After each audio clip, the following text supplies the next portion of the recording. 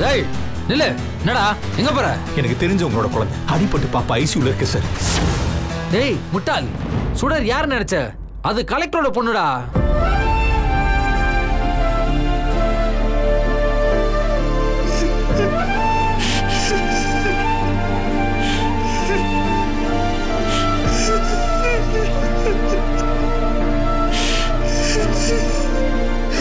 புள்ள சாகலையா?